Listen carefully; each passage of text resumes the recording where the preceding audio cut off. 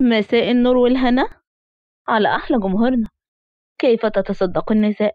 وأكثرهم ربة بيوت وما عندهمش أي فلوس. إذا سمعنا بفضل الصدقات نتأمل ونتمنى ونقول إزاي وأنا مفلسة ربنا أمرنا نحن النساء بالصدقة. تحديدا من بين سائر الطاعات. قال رسول الله صلى الله عليه وسلم يا معشر النساء تصدقن وأكثرن الاستغفار فإني رأيتكن أكثر أهل النار. وبتزيد الحسرة والخوف في نفوسنا طب الحل؟ بسيط. إن فضل الله واسع وكرمه ليس له منتهى فلم يجعل الصدقات محصورة في الأموال فقط بل جعل كل أبواب الخير صدقة وإليك أمثلة للصدقات المتنوعة. فكل تهليلة صدقة وهي قول لا إله إلا الله وكل تكبيرة صدقة وكل تسبيحة صدقة وكل تحميدة صدقة وأمرك بالمعروف صدقة ونهيك عن المنكر صدقة. افتحي بريدك كل يوم وتصدقي وارسلي كلمة طيبة لكل من تعرفين فالكلمة الطيبة صدقة. تبسمك في وجه زوجك وأولادك والمسلمين صدقة. ركعتين من الضحى تعادل 360 صدقة. امسكي عن الشر فهو صدقة. تصدقي بعرضك لمن سبك أو اغتابك فإن الله يقبل صدقة المتصدق بعرضه. امنعي الأذى عن الطريق فهي صدقة. ألقي السلام على من تلاقين. اطعمي خادمتك. ما تطعمين نفس فهو صدقة. اطعمي طير أو دبة أو إنسان فهو لك صدقة. اكرمي ضيوفك فهي صدقة. ابذلي العون والمساعدة البدنية والمعنوية فهو لك صدقة. احتسبي ما سرق منك فهو صدقة. اطلب العلم وعلميه وانشريه فهو صدقة. بأي طريقة؟ السماع أو القراءة أو الكتابة حسب استطاعتك. شربة من الماء تسقيها للعطشان صدقة. وعايزة أقول لكم إنكم وحشتوني جدا جدا جدا من قصتنا اللي فاتت. تعالوا بينا ناخد عشر حسنات ونصلي على سيدنا محمد عليه أفضل الصلاة والسلام. وما تنسوش تدعمونا بال like وال comment الحلو. ويلا بسرعة بسرعة نشوف قصتنا بتقول إيه. بعد مرور كام يوم على الأحداث الأخيرة اللي حصلت في القصر. عزام رجع البيت في نص النهار وكأنه هربان من شغله علشان يشوفها. ما كانش عايز يلفت الانتباه ليه وخصوصا مش عايز والده ياخد باله إن ساب شغله مخصوص علشان مراته. وإيه المشكلة؟ لو اشتاق لها وقرر يرجع ياخد جرعة من الدلال كأنها بقت إدمان. ياه كان فين وبقى فين؟ عزام صفوان اللي ما كانش فارق مع أنثى على وش الدنيا بقى مش قادر يستحمل ساعتين على بعض من غير ما يشوفها. سحرت له من أول ما عيونه وقعت عليها وكأنها بالنسبة لي الهوا اللي بيتنفسه. كان طلع السلم لكن وقف على صوت والده اللي كان بينادى عليه. عزام عزام عض على شفايفه بغيظ. إنه انكشف. حاسس إنه هيتجنن في يوم من الأيام بسببها. عزام مش بنادى عليك يا ابني. إيه اللي رجعك بدري كده؟ عزام لف وبص لي. بابا إزيك يا حبيبي؟ عامل إيه؟ أنا بخير الحمد لله. بس بسألك إيه اللي رجعك بدري كده؟ أنت نسيت حاجة؟ آه آه نسيت ورق مهم جدا. بعد إذنك بقى علشان ألحق. كان طالع السلم لكن صفوان اتكلم. أنت رايح فين يا عزام؟ المكتب تحت. عزام بص له بضيق لكن صفوان ضحك بخبث. شكلك نسيت حاجة مهمة في أوضتك. خلاص اطلع بس ما تتأخرش. عزام ابتسم لأن أبوه نسخة خبيثة منه لكن معنى كلامه إنه رضا حلا. طلع بسرعة السلم لكن شاف بنت خارجة من أوضة حلا فاتكلم بجدية. أنت مين؟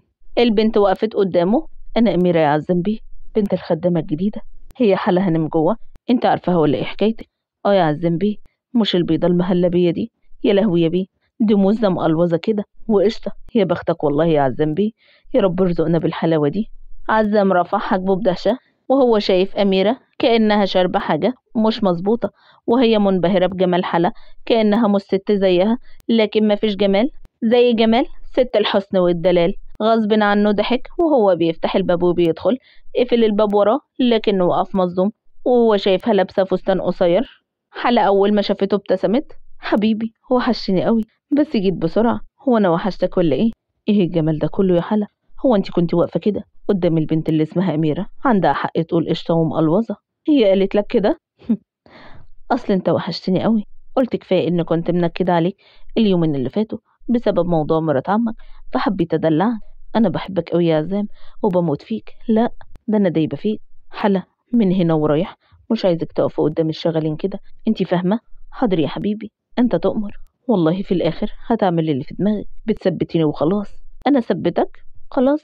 أنت حر. أنا هغير. لو أنت غيران قوي كده. وفي نفس اليوم بالليل حلا كانت نايمة وهي ساكتة وحاسة بالسعادة إن بعد اللحظات السيئة اللي هي مرت بيها أخيرا فرحت وخصوصا من وقت ما رجع لها قدام الكل وبالأخص والده. عزام ابتسم وهو شايفها بتبتسم بتفكري في إيه؟ حلا فيك وفيا طب بقولك إيه رأيك نسافر اسكندرية كام يوم كده؟ بكرة مثلا. حلا قعدت قدامه بجد يا عزام بجد يا قلب عزام. بس يا خوف نروح نقضي يومين ونسوق فيها وما نرجعش وتضحك عليا وتخلينا نفضل هناك شهر. أنا بضحك عليك يا عزام طبعا. أقول لك إزاي؟ بتضم بقك وشفايفك بحركة جميلة. وبزعل وضحكة خفيفة وأنا ما يهونش عليا زعلك ولا أنا يهون عليا زعلك يا زيزو. ربنا يخليك ليا وما يحرمنيش منك يا فراولة. قطعهم صوت خبط على الباب وأميرة بتتكلم من بره هزم بيه في اتنين بنات تحت عايزين القشطة اللي أنت متجوزها. حالة ضحكت غصب عنها وعزمت غصب من أميرة. البنت دي قصده والله. أنت متفقة معاها؟ لا والله. أنا أصلا لسه عارفاها النهاردة. بس شكلها لذيذة قوي. أميرة من بره يا بيه مش وقته. في ناس مستنياكم تحت أجلوا الحاجات دي لبعدين البنت دي لسانها متبري منها بس إزاي بتتكلم كده؟ خلص بقى يا عزام خلينا ننزل نشوف مين عايزنا. الواحد ما بقاش عارف ياخد راحته في البيت ده. حالة ابتسمت وقامت غيرت هدومها.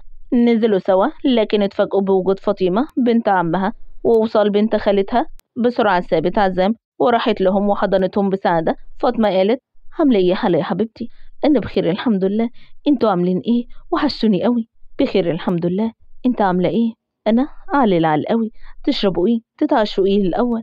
آه الحمد لله يا حبيبتي. وصل بصت لعزام اللي قرر يخرج ويسيبها تقعد معهم. جوزك مز قوي يا بنتي حلا. يا لهو عليه قمر والله. طب اتلمي بقى علشان خلاص. بقى ملكية خاصة. وصال وفاطمة ضحكوا على شكلها وهي غيرانة. وصال قالت يا هي حلا. كان حد يصدق إن كل ده يحصل؟ إنك هتتجوزي عزام فاكرة زمان لما كنت أجيب لك سيرته وقلتي إن أعوذ بالله من الشيطان الرجيم وقمت شغلت القرآن حلا افتكرت وجهة نظرها فيه وإزاي ما كانتش بتطيقه فضحكت بخفة. ما تفكرنيش يا وصال دي كانت أيام ما يعلم بيها إلا ربنا. شكلك دايب دوب. والله ما هو جوزي لو ما دبتش فيه هدب في مين يعني؟ وصال ابتسمت وحلا بصت لفاطمة. عمي أعمل إيه يا فاطمة؟ وأعمل إيه معاكي؟ بابا بعد اللي حصل. تعب وما بقاش يتحرك ولا يقوم من السرير. ولولا البيت اللي عزم جابوا لنا كان زماننا مرميين في الشارع. وسوسن بعد اللي حصل طلبت الطلاق من عزيز وفعلا طلقها لكن رحب مراته الأولى قررت تفضل معاه وطلبت منه يتغير. وبصراحة هم اتغيروا بعد اللي عزم عملوا فيهم. وكأنهم عرفوا إن الله حق. أنا آسفة يا فاطمة كل ده بسببي. لا طبعا يا حلا ما تقوليش كده. بابا غلط في حقك كتير قوي. في الأول لما تخلى عنك لمجرد إنك معرفتيش تاخدي ورثك من باباكي الله يرحمه. وبعد كده لما قرر إن يشترك معهم في أذيتك وبعد اللي عملوا فيكي ومفيش واحدة تقبله على نفسها. ومع ذلك أنت خليتها عزام يديلهم بيت. شكرا يا فاطمة شكرا بجد شكرا إنك فضلتي وشكرا إنك رحت العزام وخليتيه يلحقني من اللي كنت فيه. أنا مديونة ليكي بكل اللي أنا فيه دلوقتي. ما تقوليش كده يا حلا. إحنا إخوات ومامتك الله يرحمها كانت زي أمي وأحن كمان. وبعدين خلاص ربنا ظهر الحق وكل واحد اخد نصيبه. أوعدك إن اكلم عزام لو فعلا عزيز اتغير هخليه يساعده ويفتح له صفحة جديدة. إن شاء الله خير يا حلا. صحيح عايزة اقولك حاجة. قولي طبعا هو معتصم ده إيه حكايته؟ حلا ابتسمت بخبثية وصل وهما بيبصوا لها. فاطمة بخجل على فكرة ما تفهميش غلط. هو بس أصله اتقدم لي وطلب إيدي من بابا وأنا يعني بسألك عليه وإيه رأيك فيه؟ طلب إيدك بس. ده أكيد قال لعزام لأنهم أصحاب قوي. يعني عزام عارف وما قاليش. وصال قالت مش وقته دلوقتي. المز ده إيه حكايته؟ حلا بدأت تحكي لها عن معتصم وإنه شاب كويس ومحترم وبدأ يتكلموا لحد ما الوقت أخدهم ونسوا نفسهم وهم بيضحكوا. وتاني يوم في اسكندرية حلا كانت قاعدة على سطح اليخت وهي منبهرة من المكان وخصوصا إنهم وصلوا الصبح لأن عزام أصر إنهم يسافروا من الفجر علشان يوصلوا ويرتاحوا شوية وبعدها ياخدها ويتفسحوا. كانت لابسة فستان لحد الركبة وشعرها مفرود بحرية ولمست ندى البحر. كانت حاسة إنها حرة وخفيفة جدا. عزام كان قاعد وهو مبتسم. عزام المكان هنا حلو قوي أنا عمري ما تخيلت إن اسكندرية بالجمال ده كله. ولسه لما تتفرجي عليها كلها تنبهري من جمالها. بس أنا عايزة أنزل المية فممكن بقى تقومي تغيري علشان ننزل نعوم. أغير؟ آه أكيد. مش هتنزل البحر فستان. على العموم هعمل حسابي وجايب لك مايو. إنما إيه؟ جنان. لا الكيس ألبسه والظهر بيبقى مفتوح. عزام أنت قليل الأدب بجد. عزام فضل يضحك عليها. بطل تضحك. بلاش استفزاز. وبعدين أنت بتنبسط مثلا لو حد شافني لابسة كده. ليه؟ هو حد قالك إن ميرفت؟ وبعدين المكان هنا خاص. ومفيش غيرنا. يعني مستحيل حد يشوفك كده غيري. وبعدين أنا عايزه اقولك إنه مايوه شرعي هزام علشان خاطري. والله لو عملت إيه أنت حرة. والمرة دي هزعل بجد علشان بفوت لك كتير. هزام أنا مش عايزة أعوم. قدر موقفي. طب ما تقدر أنت موقفي. وأنا جوزك والله. أوف أنت عنيد. عزام قام واتكلم بجدية. عندك حق أنا فعلا عنيد. وبعد شوية عزام كان واقف بره وهو بيتكلم في الموبايل لكن سمع صوت خطوات. رفع راسه وهو بيبص لها وانصدم وشه ابتسامة وهو شايفها جنبه. عزام قفل الموبايل بسرعة. إيه الجمال ده كله؟ متجوز قمر يا ولاد. عزام أنا عايزة أغير. مش مرتاحة كده لو سمحت. وبعدين أنا ما بعرفش أعوم. والله ما إني سمعتك. ما إني سمعتك وأنت بتتكلمي مع غنيمة. إنك كنت بتروحي مع باباك الغردقة. وهو علمك العوم. آه فعلا بس ده كان زمان قوي. وبعدين أنا حاسة إن أنا متوترة. خلاص. يبقى لازم أعلمك السباحة. أنا ولادي لازم يتعلموها. أنا مش عايزة أجيب لهم مدربة. ما تخافيش يا بطة أنا مدرب شاطر قوي حلا فضلت تضحك وهو سقف بإيده. قشطة عليه. وبعد دقايق كانت بتضحك بسعادة وهي بتعوم معاه رغم إن هي كانت فرحانة جدا والوقت بيعدي بمنتهى الجمال. وبعد ثلاث شهور في عيد الأضحى المبارك. حلا كانت في السرايا غيرت هدومها ولبست عباية لونها نبيتي شيك جدا. كانت فرحانة بالعيد. بالله عليك يا هزام عايزة أجي معاك وأنت بتذبح علشان خاطري. قلت لك لا يا حلا وبعدين أنا مش هكون لوحدي وفي رجالة هيكونوا هناك وأنا مش ناقص إن واحد يبص لك بصة كده ولا كده. إحنا في عيد بلاش تخلينا نكد عليهم. وبعدين عايزة تيجي معايا بالعباية اللي مفصلة جسمك دي؟ اهدي يا حلا النهاردة عيد. ماشي يا عزام. عزام ابتسم وطلع محفظته. طب مش عايزة عديتك لا مش عايزة منك حاجة. بجد؟ انت قاسية قوي أنا قلت إنك شايفة إني مشغول الكام يوم اللي فاتوا وهتدلعيني بس شكلي كده غلطان وشكلي هفضل في التعب والإرهاق ده. بعد الشر عنك من التعب يا حبيبي. مين قال إني مش واخدة بالي من تعبك؟ ده أنا كنت ناوية لك على ليلة صباحي. أيوه كده يا فراولة. دلعيني ده أنا غلبان. المهم خدي يا ست البنات هديتك. فتح إيدها وحط فيها مبلغ وهي ابتسمت بسعادة. كل سنة وأنت طيب يا حبيبي. وأنت طيبة يا حبيبة قلبي. أنا هنزل دلوقتي علشان مستنيكي تحت في الجنينة. علشان نضحي. عايزك تتفرجي. آخرك تقفي في المنظرة. تتفرجي. ومش عايزة المح شعرة واحدة بين من شعرك. حلا عدلة الطرحة. حلو كده. قمر يا حبيبتي. وهي دي المشكلة. حلا وقفت في المنظرة. بتتفرج عليه. لكن فجأة العجل نطح عزم في بطنه. وحط إيده على بطنه. حلا شهقت برعب. وهي شايفة الموقف. وبسرعة خرجت وطلعت من المنظرة على الجنينة وهي مرعوبة صفوان قال أنت كويس يا عزام. مفيش حاجة أنا كويس. حلا خرجت وهي بتعيط. راحت ناحيته واتكلمت برعب. عزام انت كويس؟ بطنك بتوجعك؟ عزام بص لها بغضب وغيرة وهو شايفها واقفة قدامه بعباية رغم خوفها ورعبها إن يكون حصل له حاجة لكنه مسك إيدها ودخل بسرعة السرايا وهو بيحاول يسيطر على شياطينه.